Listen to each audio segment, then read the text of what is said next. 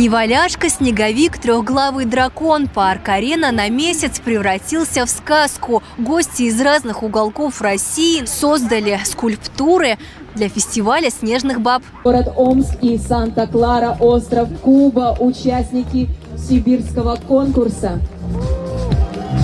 Несмотря на то, что тематика фестиваля для всех мастеров одна, каждый скульптор привез в Новосибирск частичку своего родного края. Например, мастер из Якутии создал вот этого мифологического зверя. Дракон в республике Саха символизирует оберег от злых духов. Вот эти вихри времена года, а в руке у девушки узел счастья. На груди у нее э, круглая так как мы кочевники, юрта обозначает очаг, хранительница очага.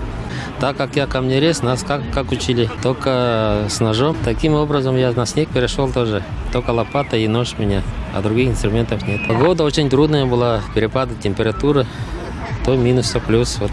И снег такой мокрый.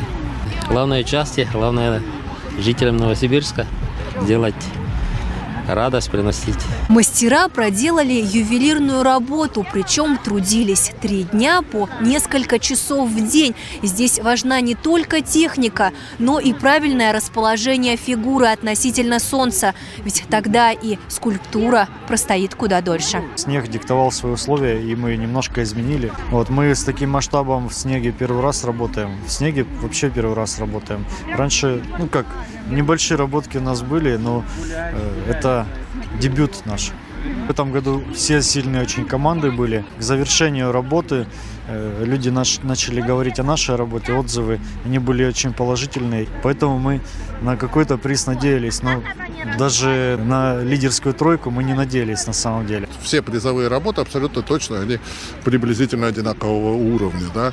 И этот уровень очень высокий. Оценивалась композиция, оценивалось мастерство исполнения, оценивалась техника исполнения, потому что э, ну, снег это крайне сложный материал, а в этом году мы с вами еще видим, что погода у нас то плюс, то минус 30, да, и вот это для снега очень тяжело. Гостям парка «Арена» предлагают создать свою уникальную снежную бабу или же оставить свой автограф. Парк «Арена» заполонили не только пестрые снежные бабы, но и одна большая зеркальная. География этого конкурса постоянно расширяется. И я думаю, с учетом возможности вот этого нового прекрасного парка, в следующем году мы сможем уже установить здесь гораздо больше скульптур и привлечь к участию гораздо больше команд. Если вы не успели полюбоваться снежными шедеврами на фестивале, то не беда. Скульптуры будут украшать парк «Арена» еще целый месяц. Конечно, если позволит погода.